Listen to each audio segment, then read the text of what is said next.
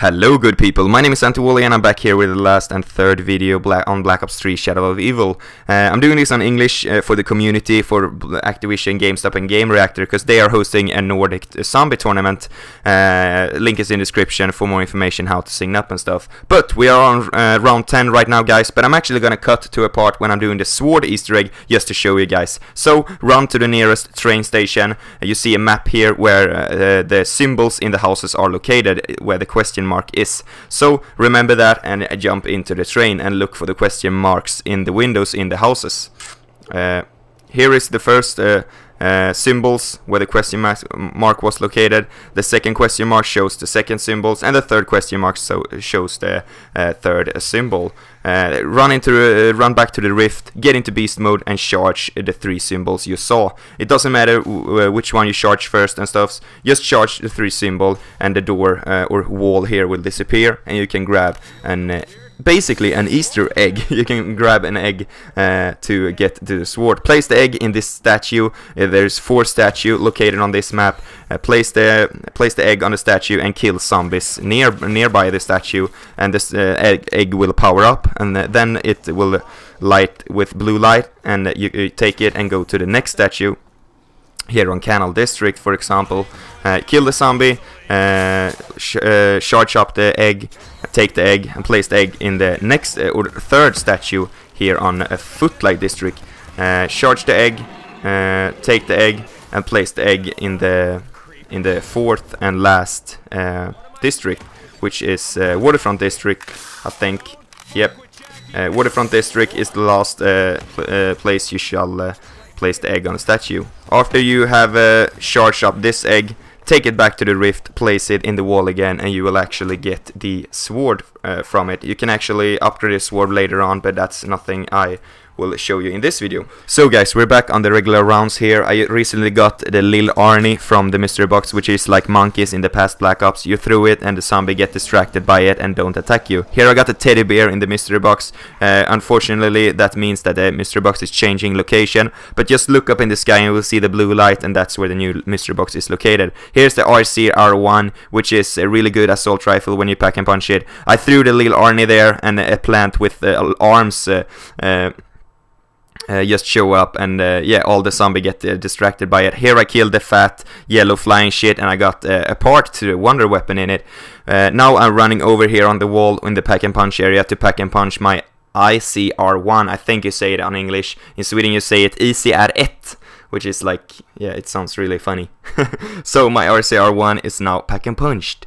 Uh, uh, cost 5,000 uh, uh, points uh, for the first time, and then it cost uh, 2,500 points. And for the first time, you get pack and punch, and the weapon get 50% better almost. And uh, then you're just changing your uh, uh, bonus perks in the weapon, because every time you pack and punch, you get this bonus perks with like the, your bull your bullets is like thunder, or your bullets is like on fire and your bullets. You can actually shoot on a zombie who turn uh, and work for you and turn against uh, uh, his own, the zombie I mean.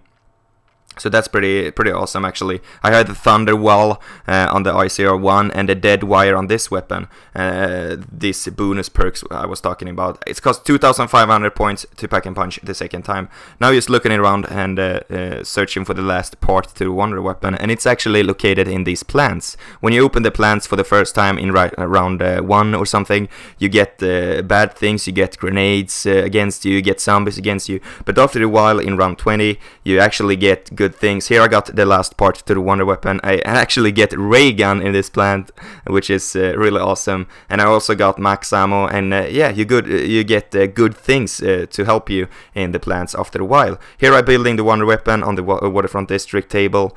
Um, Waterfront District, uh, yeah, crafting table and the Wonder Weapon is really awesome. You only have 10 bullets but if you have max ammo it's okay. Uh, just get it and you will yeah have all the bullets again. You will have max ammo. Uh, the Wonder Weapon is really really good. I do the tactic uh, when I uh, when I'm training here down in the Rift. I uh, go for the tactic. Uh, always run with the Wonder Weapon in case you get stuck. You can always shoot in the ground in front of you and all the zombie will disappear in the blue hole as you saw there. Uh, yeah it's a really really good wonder weapon and uh, I'm actually having mule kick on right now but uh, that's nothing I recommend. I have a ray gun I have a pack and punch the light machine gun or maybe the bootlegger. I think I will change the uh, light machine gun later. And then I have this uh, wonder weapon and the, uh, I'm always always running with a wonder weapon. Always run with a wonder weapon. Here I'm running up and getting the shield again because the shield on round like 39 like I'm in now the shield is actually you need to change the shield every round basically. Just uh, run up and change the shield when you only have a few zombie left. There you saw I uh, shoot uh, on the zombie and it uh, turned and uh, work uh, with me now. I call him zombie hitman 47 or something.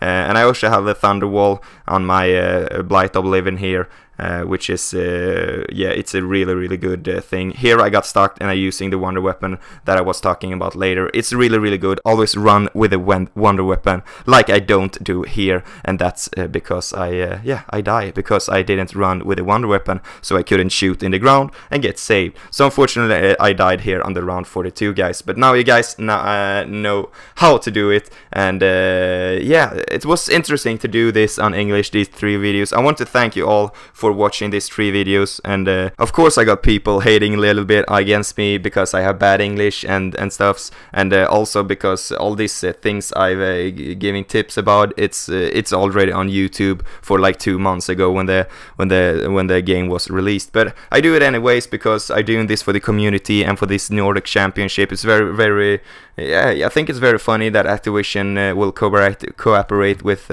uh, GameStop and Gamereactor, and together they can uh, figure this out. So, guys, uh, I want to really thank you for watching these three videos I made uh, on English here on Black Ops 3 tips and tricks. And to my own, to my own subscriber, uh, I hope you didn't unsub because I was talking uh, English in a few videos. I love you all, guys, and thank you so much for watching. And I hope you learned, yeah, a bit and get some, yeah Go and get some zombie kills now, guys. Have an awesome day, and I will see you on Swedish if you subscribe to my channel. Bye bye.